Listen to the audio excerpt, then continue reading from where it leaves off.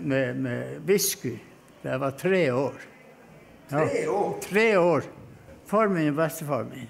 Å ja, hvorfor ga de deg whisky? Ja, for de satt og tok seg en dram, jeg gikk og stulla på gulvet og ville smake selvfølgelig. Det gjør jo alle ungene. Ja. De, de så jo det at de hadde det koselig, og at det måtte være godt. Gikk jeg og masa på. Nei, sa far min, det, du får ikke. Så sa han bestefar, nå gutten en dram, sa han de, de får smak. Ja.